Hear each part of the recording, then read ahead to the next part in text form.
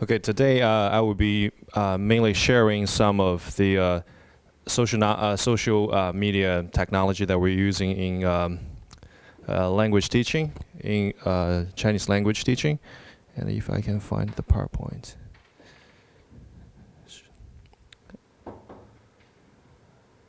Emily, is it here?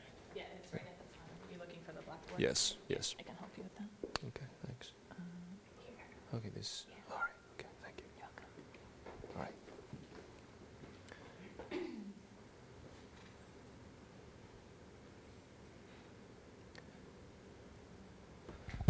All right, so in this project, we actually uh, we were talking about what type of tools we're going to use uh, in creating this course uh, for Emily's class. Also, at the same time, I'm actually uh, experimenting with some type of social uh, media in my class. Um, so, for example, um, okay, thank you. Last semester and through this semester, I've been using a lot of different type of social media like Twitter, because social media, which is uh, basically internet-based tool to uh, promote commu- uh, communication and collaboration between students. Uh, um, for example, this Twitter tool I'm using, uh, students could either ask me a non-academic question, for example, this one, uh, asking about homework, or if we go down, uh, another students could also ask me about a specific grammar point or a question that they, don't, they didn't understand in class, but they didn't have time to ask me. They probably didn't have time to come to my office, so they could easily reach me here, and I can provide feedback uh, the same evening. Um, so social media, as you can see from this example, is a very powerful tool. It's not confined to location or time. Um, and a lot of research actually showed that 90, uh, 83% of young adults in the United States aged between 19, 18 to 29 actually use social media currently. So for educators, our question now is how do we use it to promote student learning?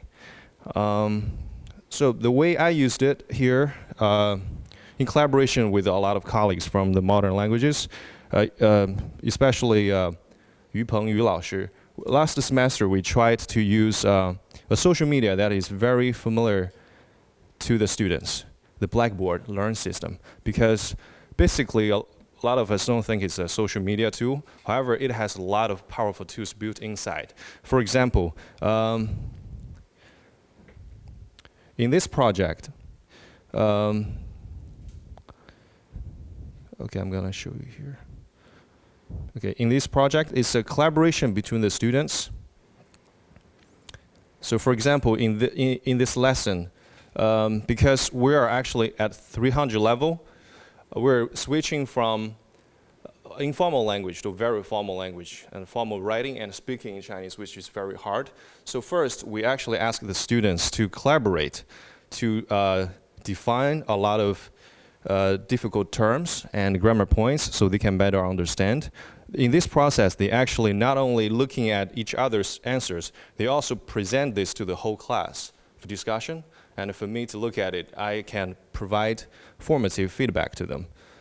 Uh, and in the end, they also work together to create a little presentation.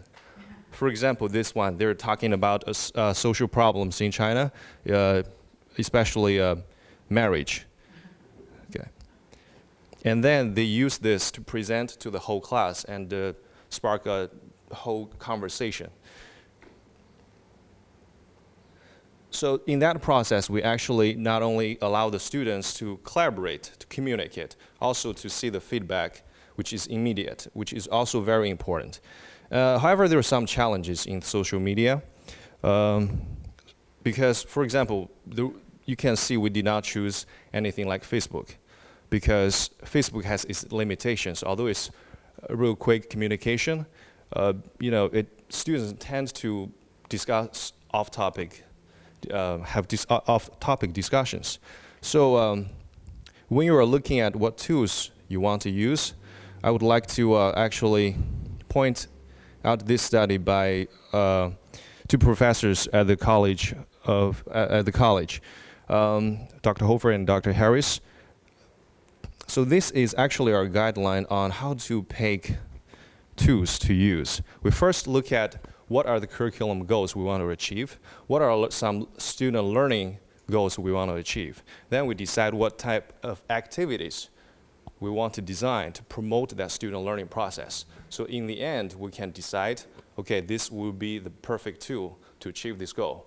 Uh, and our goal is actually to make the technology um, so integrated that the students won't even feel there's technology in it. They just feel like, okay, this is very intact learning uh, in atmosphere. Okay, so lastly, I would like to show you something um, Yu Laoshi and I both used, used last semester. It's um online discussion tool called VoiceThread.